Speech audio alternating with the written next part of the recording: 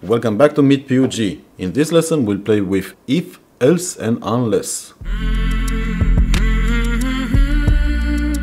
Cool, so last time we've played with buffer code, however we forgot to make a commit, so let's do that quickly now. I stage it and I'll say this is buffered code in PUG.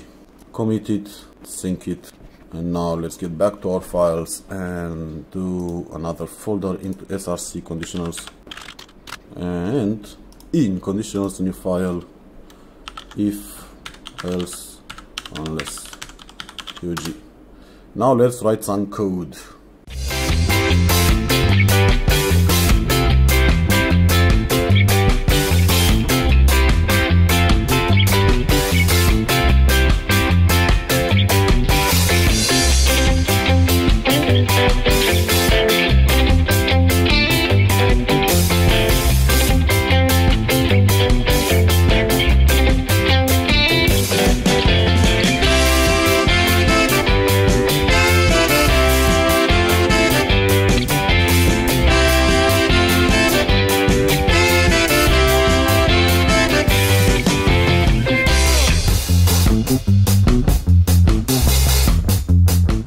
Okay, so now we've got this um, object over here called up data, which has a title and a slogan, and another variable authenticated set to true.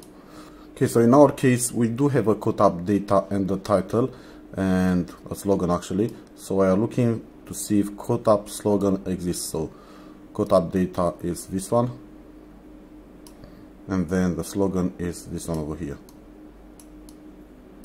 Okay, which means it exists and then this h1 outputs this one and this code info is this code info. And the slogan follows afterwards. This is Bikaras slogan which comes from this one. Cool. Bad drawings but that's kind of it. Now let's quickly clear that screen and do uh, slogan 1 so now if we save it we can see that well slogan no longer exists which means it's going to check if authenticated exists and is set to true and it's gonna render this welcome back to CodeTap and which is over here.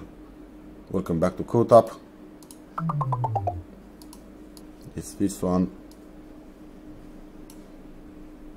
then this is the slogan and this is the slogan over here. Okay now if we are to quickly set this to false we can see that the last one takes effect.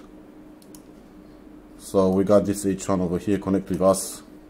You should connect with us. And then the p so basically this is if, else if and else. And then there is another one which is unless. Let's uh, quickly write some code.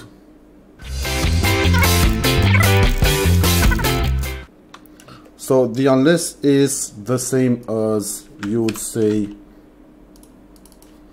if and negate authenticated.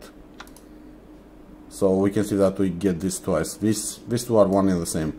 Either use unless and you're expecting it not to be true or you're using if and you negate a false to make it positive and you get the same effect. So those were the conditionals.